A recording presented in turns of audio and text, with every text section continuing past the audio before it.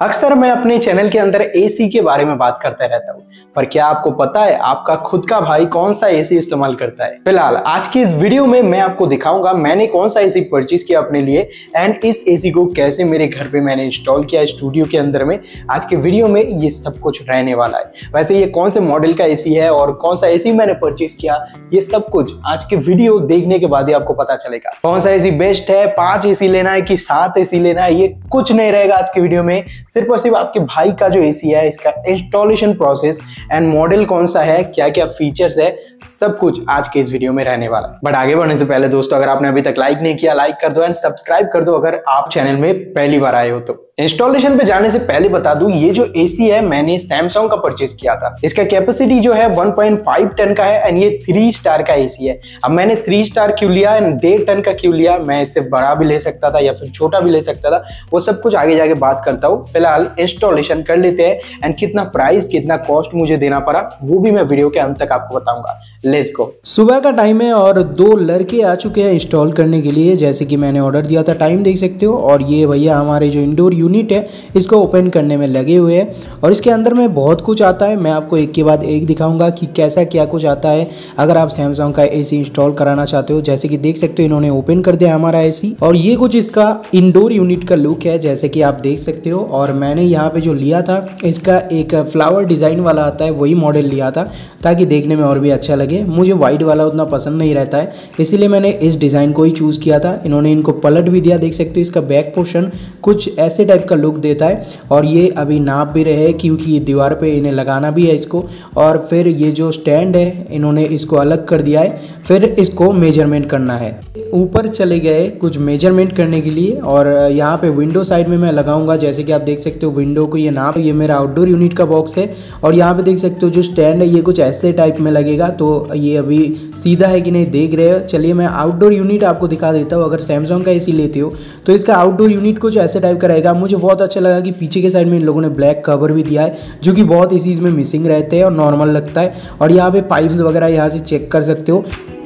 जो आपको यहाँ पे किट मिलता है, उसके अंदर में आपको ट्रिपल ए बैटरी भी दिया गया है, जो कि आपके एसी की रिमोट में लगेगा। और यहाँ पे यूज़र मैनुअल ऐसा ही टाइप का आपको मिल जाएगा, जैसे देख सकते हो। और ये हमारा स्टैंड है, जो कि एसी का स्टैंड और ये कुछ ऐसे टाइप में दिखता है, मैं आपको फ़िलहाल दिखा दे रहा हूँ।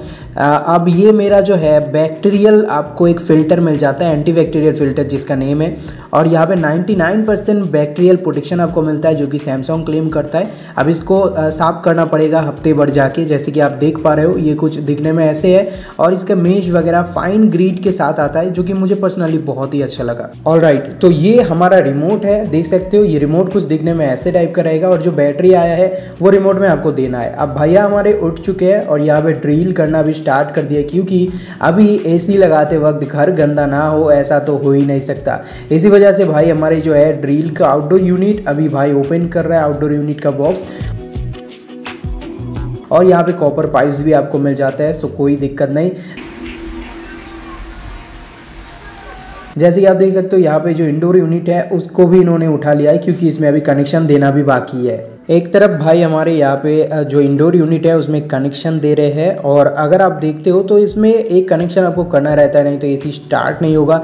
जो हमारा आउटडोर यूनिट है, उसमें भी कनेक्शन देना है। खैर, इस तरफ़ में भाई हमारे देख सकते हो क्या कर रहे हैं। जो दीवार है उस पर एक छेद बनाना पड़ता है। बिकॉज़ जो पाइप है, उसको इसके अंदर से ले जाके बाहर देना पड़ेगा आउटडोर यूनिट के लिए। जैसे कि देख सकते हो, ये जो है हमारा प्लग कनेक्शन हो रहा है और इस वायर को लगाने के बाद ही हमारा जो एसी है, वो अभी ऊपर लगने के लिए तैयार हो हो जाएगा। और भाई, हमारा अभी पाइप को भी ठीक कर रहा है बिकॉज़ यही जो पाइप है कॉपर पाइप्स यही जाएँगे एंड डायरेक्ट जाके ये आपके कॉपर पाइप्स के साथ आउटडोर यूनिट के साथ कनेक्ट होंगे, जैसे कि ये अभी देख पा रहे हो आप। एंड फाइनली सब कुछ हो जाने के बाद हमारा जो इंडोर यूनिट है, उसका जो वेयर एंड पाइप्स है, वो अभी बाहर निकाले जाएँगे बिकॉज़ ये आउटडोर यूनिट के साथ कनेक्ट भी होंगे, जैसे कि आप देख पा रहे हो। एंड स्टैंड के ऊपर में अभी ये जो मेरा यूनिट है ये दोनों धीरे से बिठाने वाले इसके अंदर जैसे कि देख पा रहा हूँ पाइप जो है वो बाहर जा रहा है। और ये पाइप अच्छी तरीके से बाहर जा भी चुका है और स्टैंड में ये फिट हो जाता है अच्छी तरीके से। खैर कोई बात नहीं। मेरा ये जो आउटडोर यूनिट है अभी ये लोग लेके जा रहे हैं बाहर में क्योंकि ये जो आउटडोर यूनिट है मैं छत से विंडो के ऊपर में देना चाहता हूँ। यही मेरे लिए सुइटेबल होगा। बहुत सारे लोग बाहर से वैसे भी आ, कुछ भी लेकर चढ़ जाके लगा देते हैं। खैर मेरा यहाँ से ले जाना सेफ्टी था।